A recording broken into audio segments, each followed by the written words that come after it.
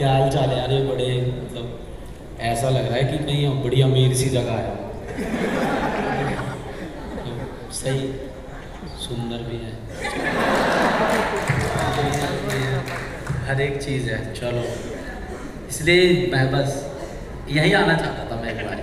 अगर मैं किसी को ये बताऊँगा कि आ, मेरे घर पे भी मुझे डांट पड़ती है जब मैं मोटर का पानी नहीं भरता जब मेरे घर में चप्पलें उड़ चप्पल उल्टी पड़ी होती है तो कहते क्लेश हो जाएँगे, इसको सीधा करो। तो आई वॉज़ लाइक क्या ये, अगर मैं चीज़ दिखाऊँगा तो लोगों को रिलेट होगा इससे? Will they be able to relate this और फिर वही डेली स्लैंग डेली की बातें तो people started relating to each other they like आप गालियाँ देते हो। मैंने कहा, मैंने आज तक कोई दो दोस्त ऐसे नहीं देखे जो बिना गाली दिए बात करते हैं। कोई है क्या ऐसा जो बिना गाली दिए बात करता है?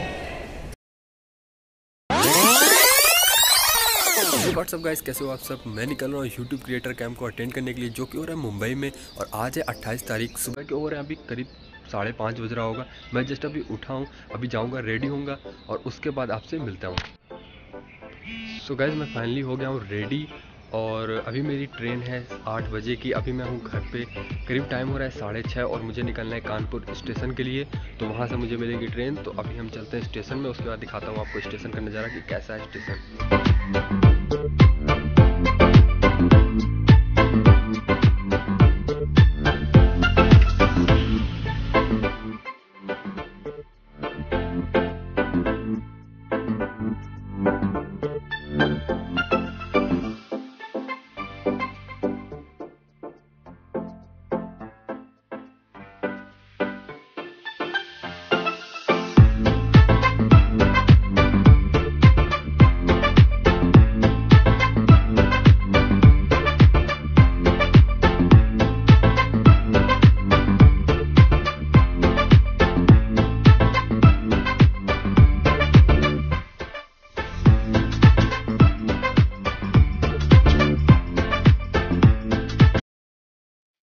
तो गाइज़ अभी मैं पहुँच गया हूँ मुंबई और जैसे कि आप सभी को पता था, मैं जा रहा था क्रिएटर कैम्प में। तो अभी मैं एक होटल पे हूँ और मैं यहाँ पर बहुत ज़्यादा टायर्ड हो गया था क्योंकि बहुत लंबी जर्नी थी। कानपुर से बहुत दूर होता है मुंबई।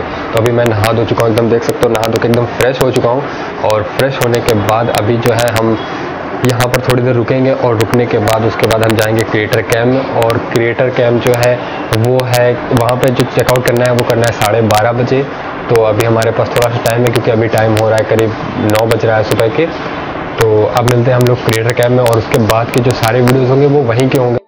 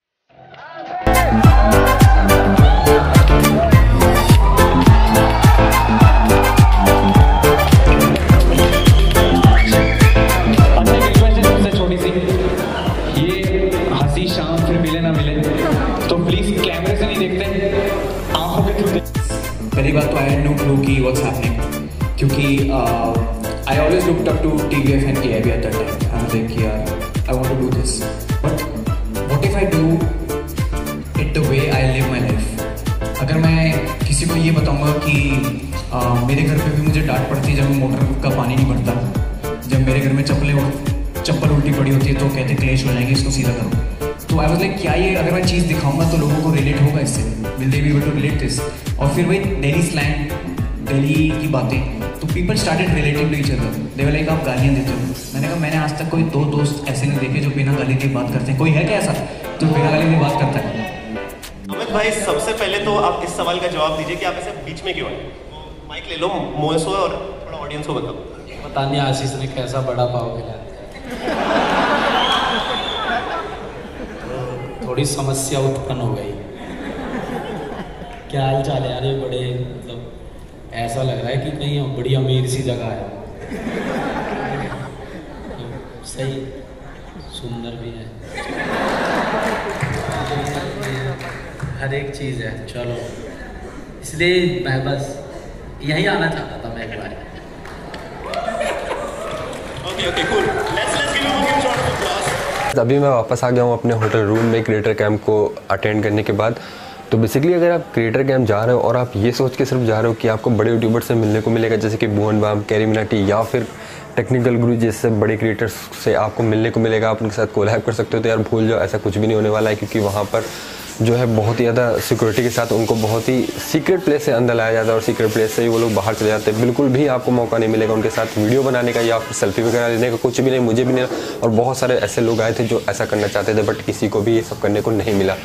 और वहाँ पर हमारे क्या क्या हुआ वो मैं आपको बता देता हूँ। मैंने ज़्यादा वीडियो तो नहीं बनाई है अंदर इंटरनली क्योंकि वैसे भी वहाँ बना था बट बहुत सारे लोग बना रहे थे बट मैंने नहीं बनाया है।